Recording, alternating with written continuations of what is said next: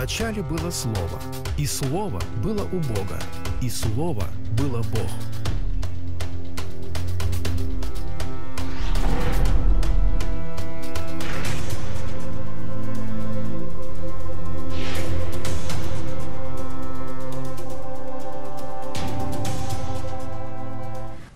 Four years ago, I walked out of a, an anniversary party in a great restaurant late on a Saturday night in Budapest. А, Четыре года назад мне довелось быть на юбилее, на торжественном в ресторане в Будапеште. And Э, um, Субботний вечер. I had to go home and work on my sermon. My wife stayed at the party because it was a great party and somebody else was going to give her a, a ride home. So I was walking alone down the А, street. Мне нужно было уйти, потому что нужно было готовиться к проповеди. Супруга моя осталась на вечеринке, ее обещали подвести, поэтому я был спокоен. Now, I didn't look good, but I looked like I had money because I had on a very nice suit and tie. А, Я был не, не то чтобы супер каким-то красавчиком, но было видно, что деньги у меня есть, потому что я был одет в хорошие And on костюмы. the street, I was А, walking шел в down. галстуке, и I вот was, я иду по I was улице. walking around a, a, na- down a narrow street in downtown Budapest, А, В and, центре Будапешта улочки довольно-таки а, узкие. and there were two women right here, and there was one woman right there, and they were talking to each other. Иду по одной из этих улочек, и вот а, две девушки стоят на обочине с одной стороны, а одна с другой стороны и общаются друг с другом. Now, in Hungary, you don't say hello to people on the street that you don't know. А в Венгрии, в отличие от Америки, ты не приветствуешь людей на улице, тех, которых ты не знаешь. I'm not from Hungary. Я не, не- не из Венгрии. I'm from Atlanta, Georgia. Я родился и вырос в Атланте, в Джорджии. In Georgia, we say hi to everybody. А в Джорджии мы, собственно, всем привет говорим. So I'm walking down. встречаем. I'm walking down the street. И вот я иду по I улице. look up, and one of those women who was younger than my younger youngest daughter, I would guess, was looking straight at me. А, смотрю, стоит девушка, в упор на меня смотрит. И, кстати говоря, по возрасту младше моей самой младшей дочери. I said hi.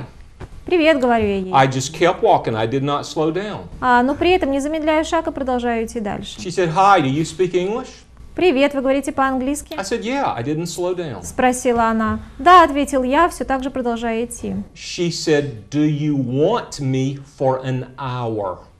Хотите меня на час? спрашивает она. I said, I'm a Christian. I never slowed down. Я христианин, продолжаю отвечать я, но при этом не замедляю шаг. She said, Does that mean no? Это значит нет? спрашивает I она. said, That means no. Значит нет, I отвечаю. я. never slowed down. И при этом продолжаю идти. Let me tell you what I wanted to do. Но знаете, что я хотел сделать? I wanted to do this more than anything. Больше, чем что-либо на свете. First, I have to tell you, as a man, she wasn't, I don't think she was pretty. Ну, во-первых, если оценивать ее с э, мужской точки зрения, она даже не была хороша собой. If I were a non Christian, Даже если бы я был не христианин. if I was interested in her business, И мне было бы интересно с ней пообщаться. she wouldn't tempt me at all. Она меня даже не привлекла бы ничем. But here's what I wanted to do Но мне хотелось сделать вот что. I wanted to say, My dear, I've got a, two daughters older than you. How much money do you make an hour? А, Я хотел бы задать ей такой вопрос. Знаешь, во-первых, я сказал бы, что у меня есть две дочери постарше тебя, а во-вторых, спросил бы ее, сколько ты зарабатываешь в час. I don't know why, it's never happened before, but I had a lot of money in my pocket. А, вы знаете, вот на тот момент деньги у меня были, это происходит нечасто. I wanted to find out how much she made an hour, and I wanted to take that much money out of my pocket, and I wanted to give it to her, and I, I wanted to say, tomorrow morning, instead of working, I want you to go to church. Now, here's the church I want you to go to, and I'm going to make sure you don't lose any money by going to church because I'm going to pay you for that hour you're in church. That's what I wanted to do. Вот знаете, что реально мне тогда хотелось сделать и как поступить? Я хотела спросить у нее, сколько она зарабатывает в час, потом дать ей эту сумму денег и попросить ее на следующее утро или когда она там выходит на работу, не выходить на работу, а прийти в церковь на этот час. И а, я даже знал, в какую церковь, и сказать, на тебе, пожалуйста, чтобы ты не теряла свой а, часовой заработок, ну, пожалуйста, приди туда, куда я тебя приглашаю. But I couldn't do it. Not because of the money. I didn't mind giving up the money at all. That was nothing. Но, к сожалению, я не мог этого сделать, и дело тут не в деньгах, мне было не жаль дать ей эту сумму. I couldn't do it because I was scared. Я не мог так поступить, потому что я был испуган. I thought the minute I put the money in her hand, a policeman will step out of the shadows. Потому что как только я начну протягивать ей деньги, где-нибудь возникнет полицейский. And I can just see me trying to explain to a policeman who doesn't speak English that I was paying this girl to go to church. Вот представьте себе, как бы я пытался объяснить венгерскому полицейскому, сейчас даю ей деньги, чтобы она на следующий день пришла в церковь. Or I, I was thinking, as soon as I give this girl money, somebody I know will walk around the corner and recognize me. Или же представьте себе, я протягиваю ей некую сумму денег, и тут из-за угла кто-нибудь появится, кто меня знает. So I was scared. I was afraid of what somebody might think. А, и я реально, реально боялся, что кто-нибудь меня увидит, что кто-нибудь меня заподозрит в чем-то. I never stopped walking, Поэтому я продолжал идти, не And I меняя w- скорости. and I walked away to my car. И продолжал дальше двигаться в направлении своей машины. I never looked over my shoulder. Я даже не оглянулся. Jesus stopped. А Иисус остановился. Gave, Jesus gave her something better than money. И Он предложил ей отнюдь не деньги, Jesus wasn't scared. а нечто лучшее, чем деньги. И Иисус не убоялся. And in the next verse, when his disciples come back, they think, Can you believe he's talking to her? И в следующем стихе мы читаем, что ученики, узнав об этом, недоумевали, неужели он действительно Oh. общался с ней? He's not only talking to her, Он не просто с ней общался. he's giving her the greatest disclosure of his identity that he ever gave anybody. Он открыл ей себя как личность, как мессию настолько, насколько он не открывал себя еще никому. What kind of man is this? Что это за человек? He's nobody they could have made up. You can't make up something that you can't imagine. And he is the person who could not have been imagined in the first century. А, и, друзья мои, его нельзя было придумать, потому что тогда это было невообразимо в первом веке. He must be the Son of God. Наверняка это есть Сын Божий. Now, at that moment, she was saved. В тот самый момент она обрела спасение. Well, how can I prove that? Как же это доказать? We don't see any of the traditional signs of salvation that uh, you and I look for in our churches here, do we? А, Никаких традиционных знаков, которые говорили бы о том, что человек спасен, мы здесь не видим. А, То, к чему мы привыкли в церкви, в современном христианском обществе. Она не поднимает руку, не произносит молитву покаяния и веры, не заполняет потом карточку новообращенного. She doesn't walk to the front when a hymn is being sung, А, Не выходит вперед в церкви, когда поется гимн. but she was saved. Но она обретает спасение. I can prove she was saved. И я могу это доказать. I can prove in two ways that she was saved. Для доказательства а, я избираю два способа. First of all, she immediately adopted a new set of priorities. Во-первых, у нее тут же меняются приоритеты. That's a nearly infallible sign of salvation. И это практически неоспоримый признак спасения. She was dramatically transformed. Она просто на глазах преображается. Look at verse 28. 28 стих. She left her water pot. Тогда женщина оставила водонос свой What had she come to do? и отправилась куда или что начала She делать? came to get water. И пошла в город. Now she's going to go do something else. И мало того, She left her water pot and she instead went witnessing. она оставила водонос и пошла свидетельствовать. That's the second proof.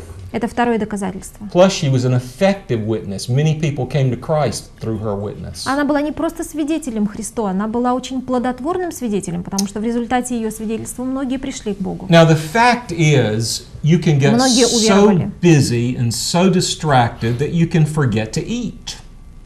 А иногда э, мы бываем столь напряжены и столь отвлечены от, э, или там столь рассеяны, что забываем поесть. You might be working and busy, or you might be doing something fun, and you realize, ah, I forgot to eat lunch, or I forgot to eat dinner. It's almost bedtime, and I didn't have any dinner. Мы можем быть слишком заняты, вовлечены в э, какие-то дела целый день, или наоборот веселиться, или делать что-то еще, и к концу дня понимаем, ох, а я же сегодня еще ничего не ел. Now, it, it's never happened to me, but I've read about it. Со мной, честно говоря, такого ни разу не происходило, но я об этом читал. Sometimes people forget to eat. Иногда люди забывают поесть. But you know what? If you're thirsty, Но знаете, если у вас жажда, if you're really, really thirsty, настоящая жажда, you don't forget you're thirsty. а, о ней забыть невозможно. She did. А она забыла. She left her water pot. Она оставила водонос, She had a new set of priorities. потому что у нее поменялись приоритеты. Now, how much training do we need before we start witnessing? Сколько нам нужно готовиться к тому, чтобы свидетельствовать о Христе, чтобы наконец заняться этим на практике? How much training did she have?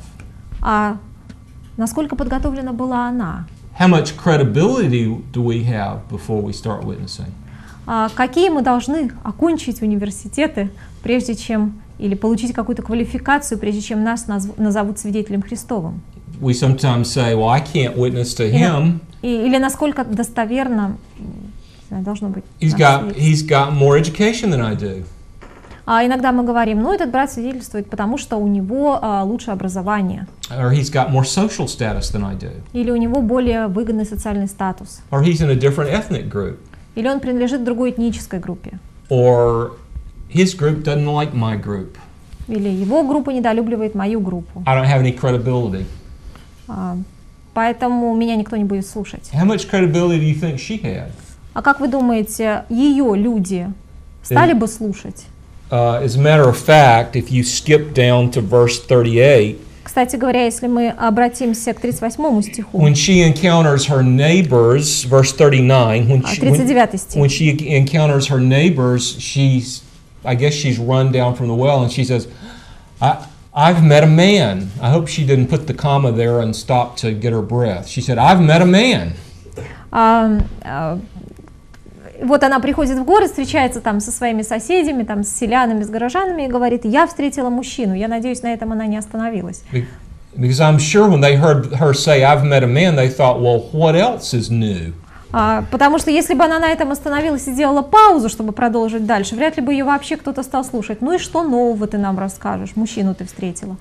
She said, I've met a man who told me everything about myself. The same experience that Nathaniel had. А, Она сказала, я встретила человека, который все рассказал мне обо мне. Примерно тот же опыт имел Нафанаил. You see, Jesus doesn't work any signs here. We don't find any of the signs yet in John 4. И Иисус никаких знамений здесь не делал. А, В этой главе мы об этом не читаем. except his supernatural demonstration that he knew everything about her. Но здесь он все равно проявил себя как а, сверхъестественная личность, поскольку рассказал о женщине то, чего она ему не говорила. Anybody who's honest with himself, anybody who reads the Bible with an open heart can experience that miracle. They can realize this is about me. Whoever caused this book to be written knows me inside out. That was her experience И with всякий Jesus. человек, который а, честен сам собой, всякий человек, который с открытым сердцем цвета- читает священное писание, заглянув на его страницы, понимает, что эта книга описа- написана о нем, что она повествует о нем, и кто должен быть автор этой книги, чтобы знал меня столь хорошо. Verse 27 says, They were thinking, What are you doing? That's Why a are wrong- you talking to her? That's what they were thinking, but they didn't say it. А в 27 стихе мы читаем, ученики удивились, что он разговаривал с женщиной, однако ж ни, ни один не сказал, это была лишь мысль. And said, they, instead, they say in verse 31, Well, here's lunch. А в 31 стихе они ему открыто говорят, э, ешь, вот он, обед. And what Jesus said was, You know, I got a lunch that you don't know anything about. А Иисус в 32 стихе отвечает им, у меня есть пища, которую вы не знаете. On the Mount of Temptation, that's what he taught the tempter. In at the well of Samaria, that's what he taught his disciples. А во время искушения именно так Иисус ответил сатане, и во время разговора с самарянкой он так ответил своим, после разговора с самарянкой он так ответил своим ученикам. He teaches his enemies and his friends the same thing. I live off something else. I live for something else, and you don't know anything about it. И врагу, и друзьям он говорит одни и те же слова. «У меня есть нечто, что помогает мне жить. Не хлебом единым живу я». Look at verse 34. А 34 стих.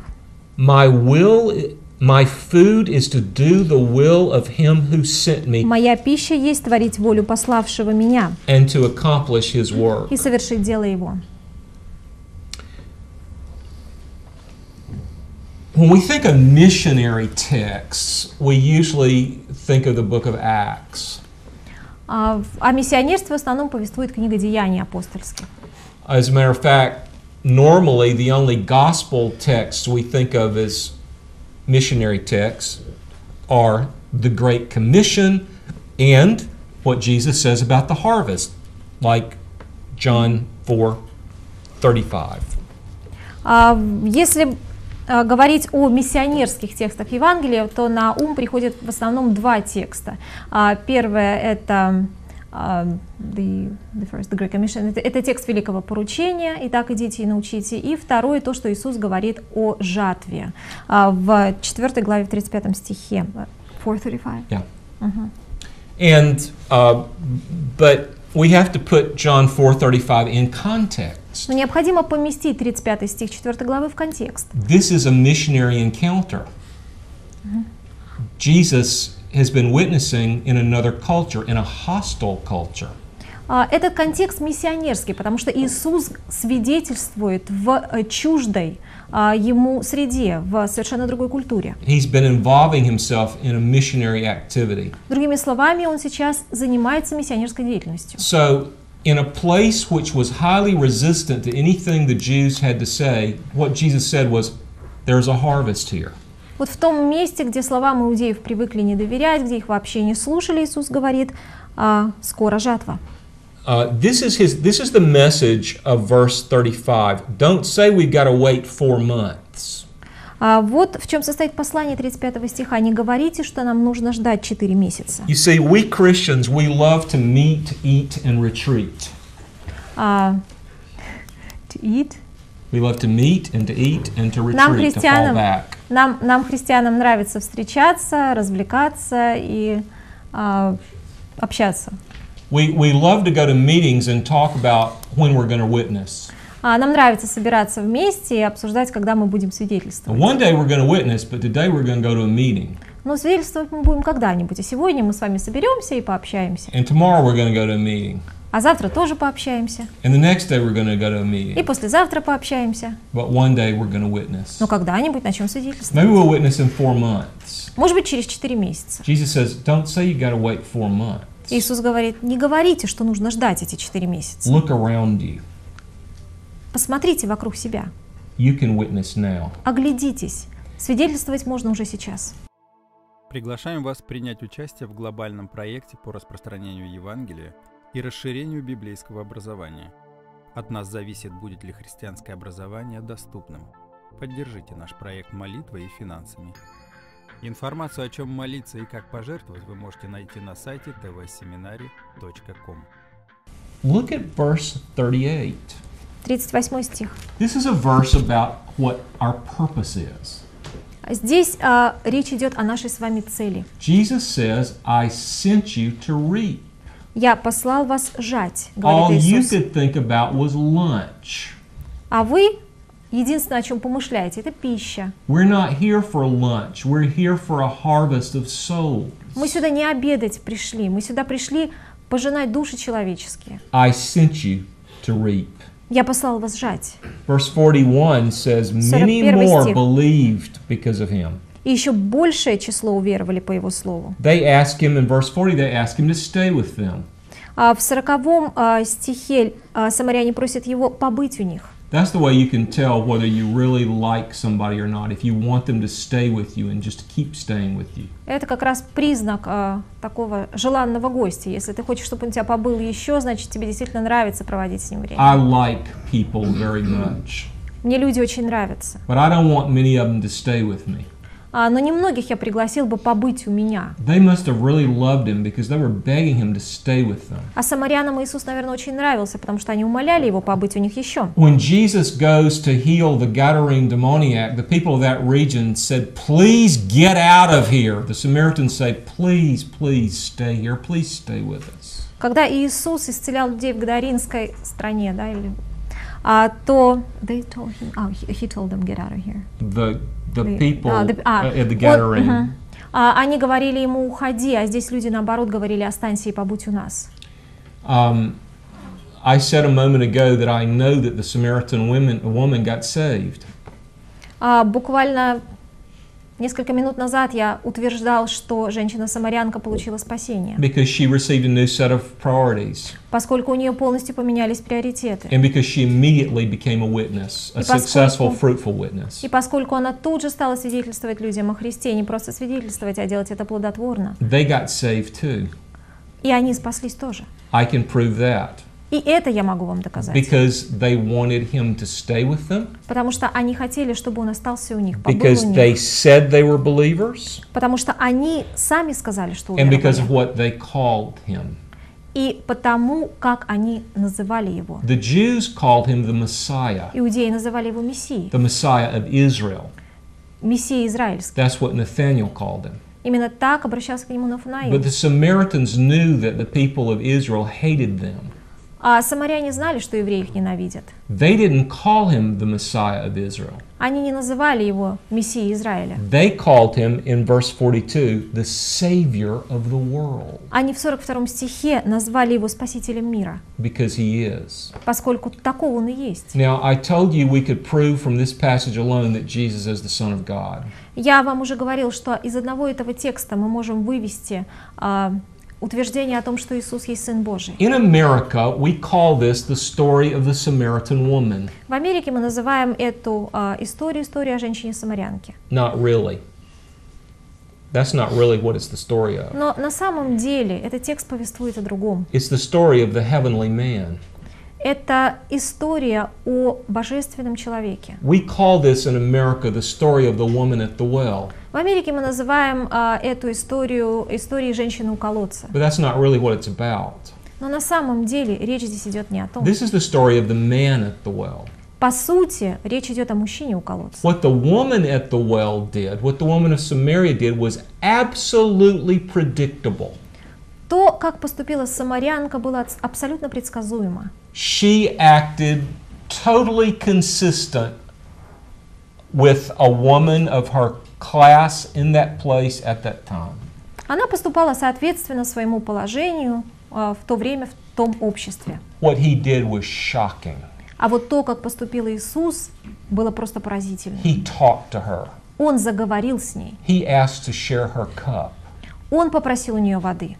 He revealed his identity to her in a way more complete than what he revealed to anybody else. Он открылся ей настолько, насколько доселе еще никому не открывался, как Мессия. The disciples could have never Как made that up личность. because to them it was not a heroic pattern. It was a shocking, humiliating thing for him to do.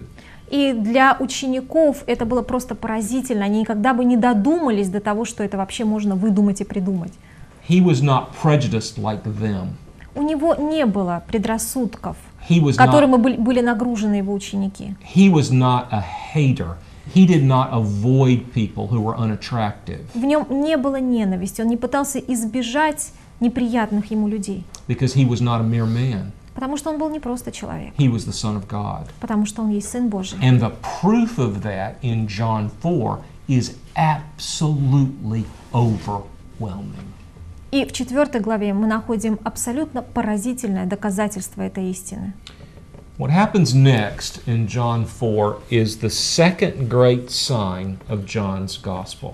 А, то, что происходит дальше в четвертой главе, а, еще одно огромное знамение в Иисуса Христа в а, данном тексте. The first sign is the turning of the water into wine in Ah. Cana of Galilee. Знамение, чудо. Первое, а, то, что мы с вами уже разбирали, это а, превращение воды в вино в Кане Галилейской. When he sits by the well in Samaria, he's on his way to Galilee again. That's why he's in Samaria. He's walking from Judea to Galilee. И вот теперь в данном тексте мы читаем, что Иисус Христос снова направляется в Галилею, идет он через Самарию.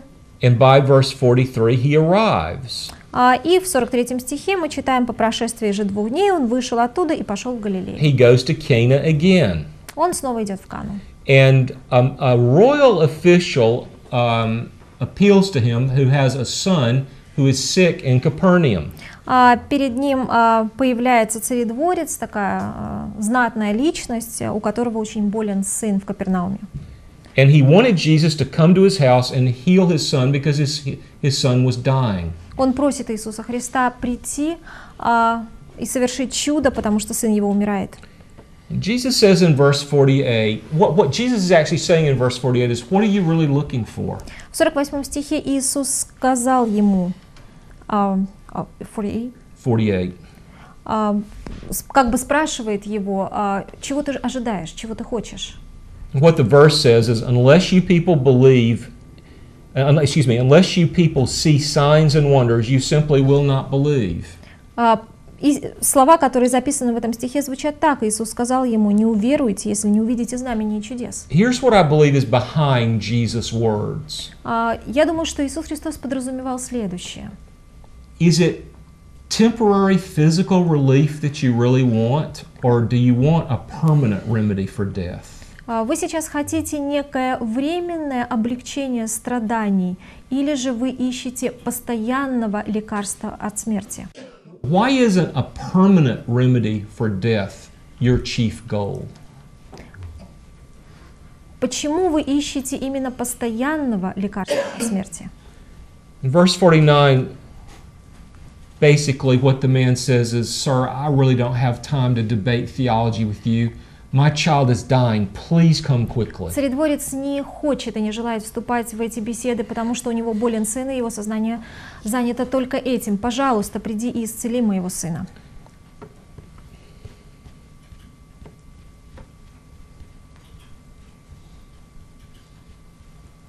You ever seen a dead child? Вам когда-нибудь доводилось видеть мертвого ребенка?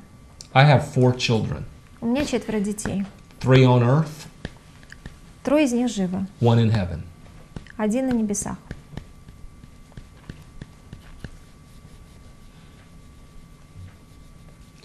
Our second child, our first son, was born dead. А у нас был мертворожденный сын. We named him Michael, one who is like God, Мы назвали его Михаил, подобный Богу. because we believe that verse in Matthew 13. We believe that now he shines like the sun in the kingdom of his Father. Not this Father, but the real Father. Потому что мы а, веруем, верим Библии, доверяем Библии, и теперь а, знаем, что он а, светится ярким светом присутствия Отца, неземного Отца, Небесного. Now, if you've ever been a mother or a father, you know that there are no more precious words, no more powerful words, no more desirable words that could ever be spoken to you in any language than the words that Jesus says in verse 50 Your son lives. И если у вас есть дети, то, наверное, вы сможете оценить слова Христа в 50 стихе. Это слова столь драгоценные, столь вожделенные, столь сильные, обладающие невероятным влиянием на родителей, когда родителям говорят «сын твой здоров». This is the second sign. Это второе знамение. Notice two things about it. Давайте об- здесь обратим внимание на два момента. Jesus is present when he turns the water into wine. Иисус присутствует в том месте, где воду превращает в вино. He heals the boy from a distance. А мальчика он исцеляет на расстоянии. He's in a different town. Он находится в данный момент в другом городе. He uses human instrumentality to make the water into wine. He uses the servants. Он пользуется неким земным инструментом для того, чтобы превратить воду в вино. Он использует слуг, помощников. He uses no human instrumentality to heal the boy.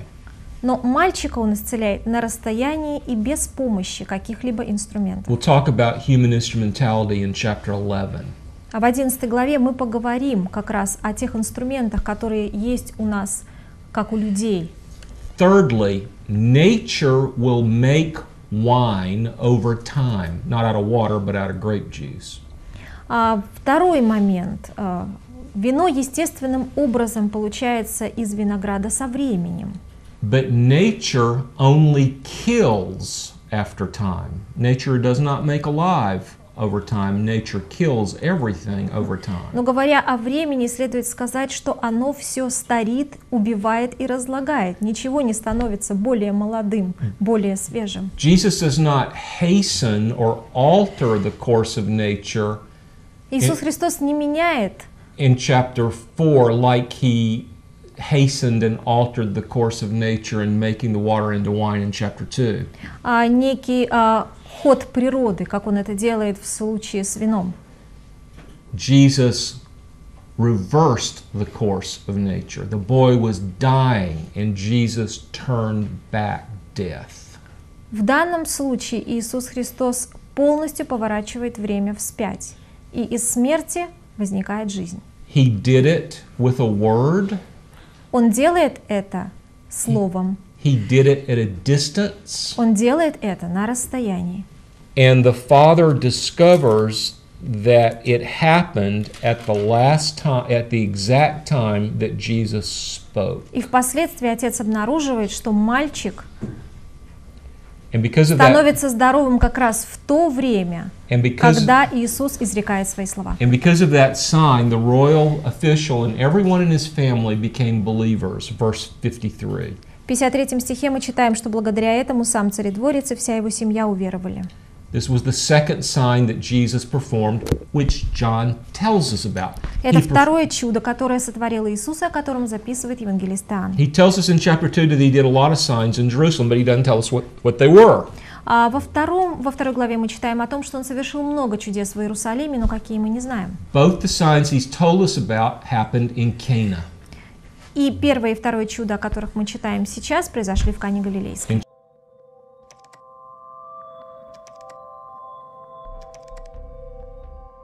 Ищите нас в поисковых системах по запросу ТВ-семинарий.